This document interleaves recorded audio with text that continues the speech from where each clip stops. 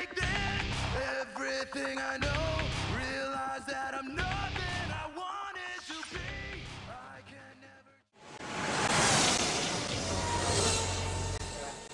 Um, yeah, actually, that's an interesting story in and of itself.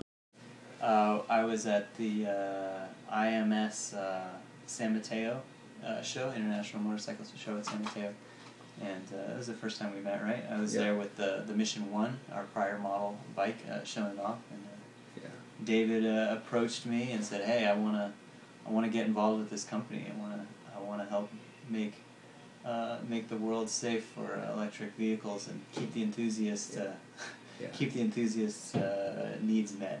I mean, Ed, Edwards Edwards been with the company since the beginning, since it was you know three guys in a garage saying, "What the hell would happen if we put you know a bunch of batteries and a, and a golf cart controller and a, and a little motor, electric motor into a into a Ducati 900 SS." You know, which is how the company got started three years ago, and then fast forward to the Mission One, and uh, when I saw that unveiled uh, it, at, at the at the TED conference, uh, I was living in New York at the time, and I just said that I want to I want to work on that because you know that is that is motorsports, that is uh, you know environmentalism, and that is technology all compiled into one concept, and that's what I love.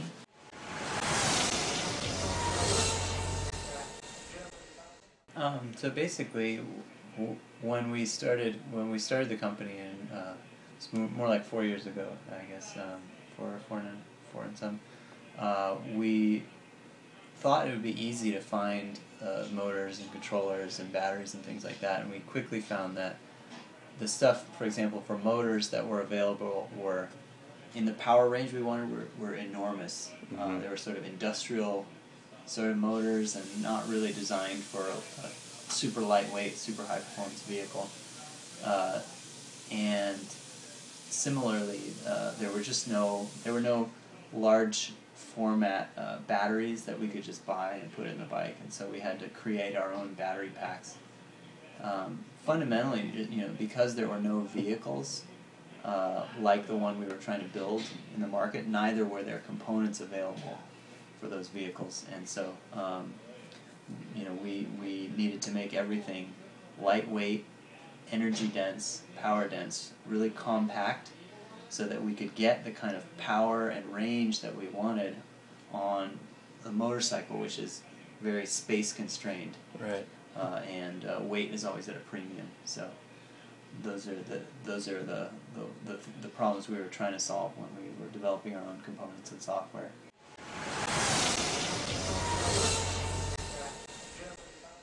Yeah, basically, um, so you know how motors can be used as a generator, um, like a hydroelectric dam or something like that, um, where you just kind of are running them, almost in effect running the motor, trying to run the motor against a force that's more powerful.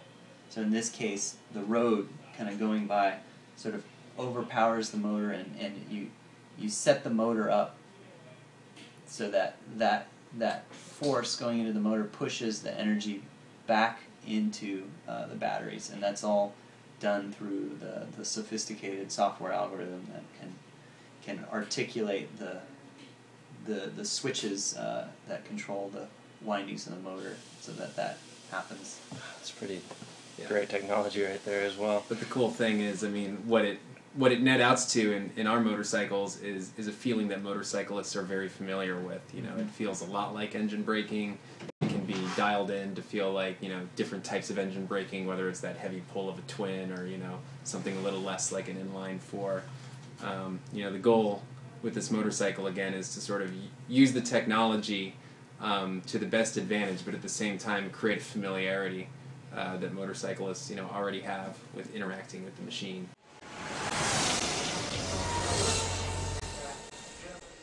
I, I forget who was who was telling me this. They were saying, "Man, it's amazing on these electric bikes. You know, you you uh, you you when you don't have your attention on shifting, on what gear you're in, on the clutch, on the RPMs, uh, Blipping the throttle. flipping the throttle, doing all that stuff. All of a sudden, you've got so much attention available to just focus on your your corner entry, your corner exit.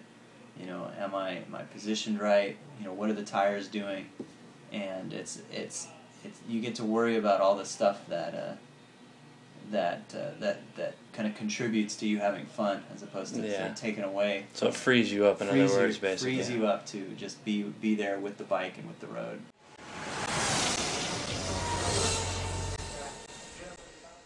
If you're if you're going around around town at uh, sort of standard uh, vehicle drive cycles, you could get to 150 miles on a charge. Um, if you are driving uh, a little more vigorously, you know you'll be somewhere between 80 and 120 miles on a charge. If you're pushing it really hard at a track, you'll you know do between 20 and 40 miles.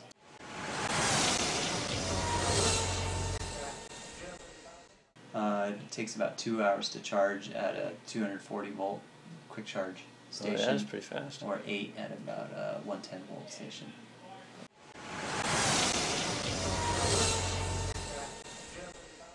Um, I think it, I think it would be com- it would be pretty competitive. It would be certainly on paper we'd be in strong position to perform well against the the current uh, leaders in the in the field. I, I wouldn't I wouldn't I would never make any claims that will blow everybody away. But, um, that's uh, that's we're trying to build a bike that would be in position to do that. That's for sure.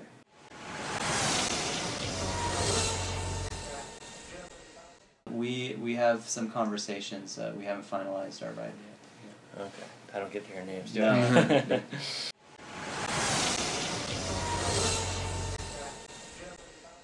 Uh, wait, I don't know. It'd be it'd be in the hundreds. yeah, there's there's Um, got to be probably probably uh, somewhere between three hundred and thousand different parts Yeah, on there. so- What What's interesting though about you know uh, being a you know being the R and D company and the powertrain focused company that we are, um, you know, focusing on electric motorcycles instead of you know instead of designing our own car or something like that. You focus on on the powertrain, you focus on the chassis and the bodywork, and then you know the other components, the Brembos, the Marchesinis. I mean, you already know what's best. You have to dial them in for a vehicle of this weight, but you know, th- those are known quantities.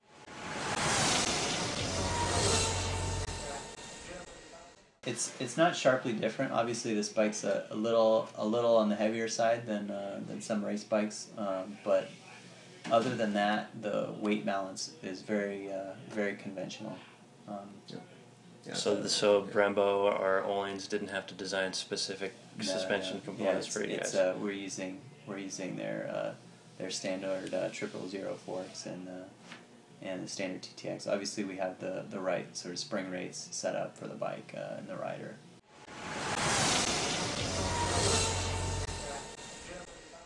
We have uh, we have tentative plans. Uh, basically, we are we would love to do the TTX GP full series, and uh, and that's that's what we're planning on doing. And we'd love to do uh, a handful of other kind of events and demonstrations.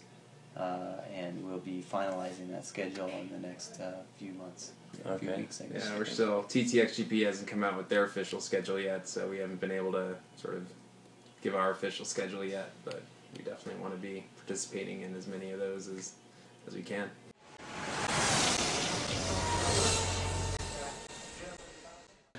Our plans for a production model are uh, not yet finalized, but we are definitely we're definitely interested in bringing a model to market uh, in the sort of 2012 kind of range. So. Yeah, it, it's an important thing for everybody in the company. Um, you know, there's a lot of interest uh, from people out there uh, for motorcycle like this. They contact us all the time, um, and uh, you know, it, it's just getting getting a bike to market. That that last ten percent can be very challenging. Um, you know, getting it fully ready to be able to give to a customer uh, and have them use it, you know, safely and consistently every day. Um, but it's you know that's a challenge that we want to that we want to take. But we we would never sell a motorcycle before it was really ready for that prime time.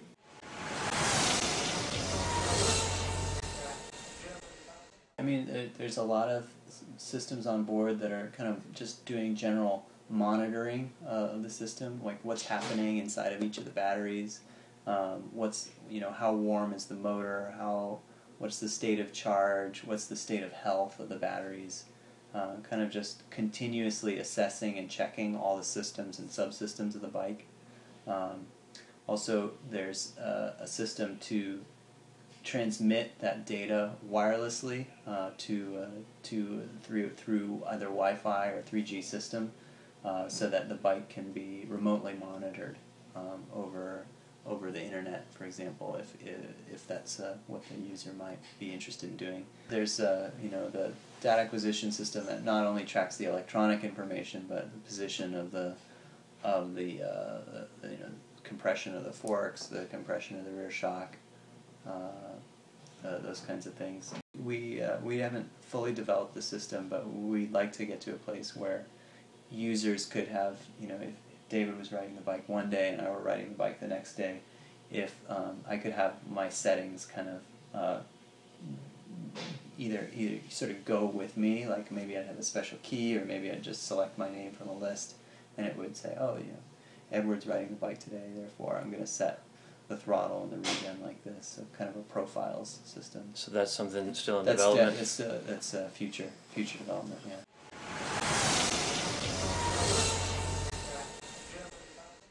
Um, things that help the bike continue to, to feel um, you know exactly as you would want a bike like this to feel and to perform but to manage the whole process more efficiently. So you know the biggest challenge right now obviously with uh, with these bikes is the range. Uh, and and so you know when you ride a motorcycle an electric motorcycle hard you drain the batteries very quickly.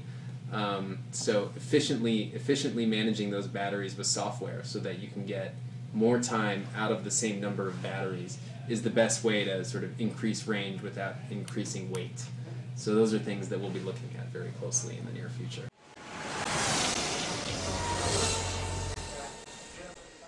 The the mission R we think uh, represents sort of the, the the right now at least the pinnacle of what's possible in electric vehicles uh, or in electric motorcycles. It's sort of the ultimate expression of electric performance. And uh, why we think that that's uh, important and compelling actually has to do with some of the, the nuances in your question about uh, what what is the future of electric vehicles and its relationship to uh, the, our environmental challenges. Uh, and we've long believed that if we can prove that electric powertrains are uh, are either equivalent or superior in performance in the most demanding environment, which we think is uh, an electric motorcycle or just motorcycling in general, um, that enthusiasts uh, and other uh, and, and other vehicle manufacturers would see that the tide has turned and that uh, low emissions and zero emissions vehicles, their time has really come, and so it'll allow us to kind of enter a, uh, the next era of vehicles, which will be uh, electric vehicles, we believe.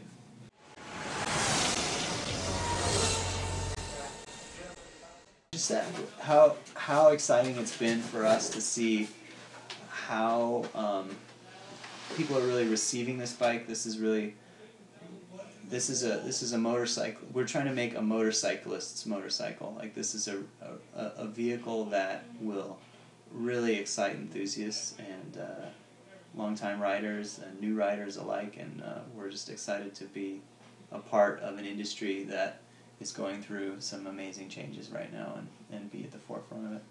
And uh, thank you to your readers for uh, uh, helping to to to uh, show their interest in this kind of this kind of vehicle because you know we, we know we're excited about it. Yeah, you know, it, it was pretty amazing. Two years ago at the Long Beach Motorcycle Show, the, the Mission One was kind of received as sort of a curiosity, something sort of clever and, you know, but just sort of a, a sideshow, as it were. And, and, and, and this year, you know, people with the Mission R uh, were coming up and asking very intelligent questions about regenerative braking, about kilowatt hours, um, about performance. Um, people are starting to take this seriously. They're starting to understand what it's about, and uh, with you know in the more mainstream world, vehicles like the the Chevy Volt and the Nissan Leaf, uh, and some other uh, electric motorcycle manufacturers having products on the market.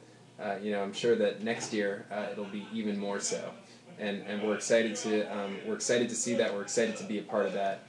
As Edward said, you know, at the beginning we wanted to show what was possible with electric vehicle performance, so that uh, you know we could inspire consumers and we could inspire other vehicle manufacturers to do this.